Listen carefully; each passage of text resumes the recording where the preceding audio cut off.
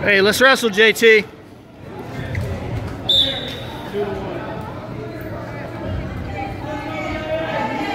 It's right there.